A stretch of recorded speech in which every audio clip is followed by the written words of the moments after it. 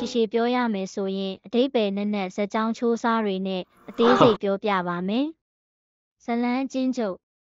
ဇလန်းကတာယာတဲ့မြို့တစ်မြို့မှာဖြစ်ပွားခဲ့ပါတယ်။မိသားစုတစ်စုမှာ၄ယောက်ရှိပြီးသူတို့ရဲ့ဘဝဟာအကြောင်းအရာတွေခံစားချက်တွေနှလုံးသားကြီးဆိုးကျိုးပိတ်မှုတွေကြောင့်ခင်းနဲ့များပါတယ်။မိသားစုအဖွဲ့ဝင်တွေကအချစ်နဲ့မိတ်ဆွေတယောက်ဖြစ်ကြပြီးလောက်ကိုကြည့်ရင်အပြုံးနဲ့အပြုံးထဲမှာကောင်းကင်မိုးလေရင်ကိုဆွဲဆောင်နိုင်ပါတယ်။ ဇလန်းအတွင်းမှာအချစ်ရဲ့အလှပုံမြင်တွေကိုအတိတ်ပဲတီးတီးတသားလိုက်လံပြောပြခဲ့ပြီးတက်မွန်မြင့်ကသူ့ရဲ့ခံစားချက်တွေပြုံးများကိုဖေရှောင်းမှုများဖြင့်ဆွဲဆောင်ထားပါတယ်။ပြည်တီဦးကတော့သူတို့ရဲ့အဆက်သွားထွေတွေကိုဖျော်ဖြေရန်နှက်ဆိုင်တဲ့တခြင်းများဖြင့်တွာလာသည်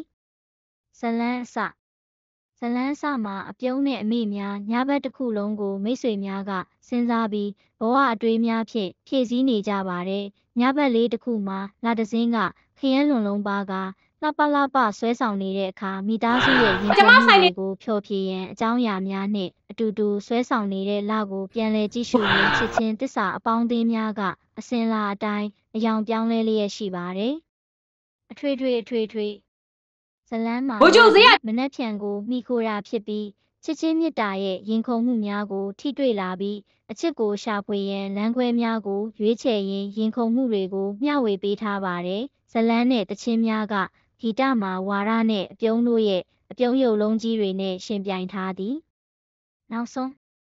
လန်းနောက်ပိုင်းမှာတက်မွန်မြင့်နဲ့ပြေတီဦးတို့ကသားသမီးတို့ကိုလှုပ်ရှားမှုများစိတ်ဝိညာဉ်များနှလုံးသားများအတွက်စကားပြောရာကအကြောင်းအရာများကိုမျှဝေပြီးလောက်ကိုပြန်လည်ရောက်ရှိရင်ဘဝအတွက်အခွင့်အလမ်းများကိုပြည့်ရန်လှုပ်ရှားနေကြပါတယ်။အနောက်တနည်းဒါဆိုရင်လာတစင်းရဲ့အဖျော်ဖြေရေးဟာအချစ်ချစ်ချင်းမြတ်တာနှလုံးသားတွေနဲ့စိတ်ဝိညာဉ်တို့ကိုပြသနိုင်တဲ့လှပတဲ့ဇလန်းတစ်ပုဒ်ပါ။ ဘာမှမသိတဲ့အခါမျိုးမှာစိတ်အားထက်သန်မှုများစွာနဲ့လိုက်ပါစေဖို့လိုအပ်ပါတယ်။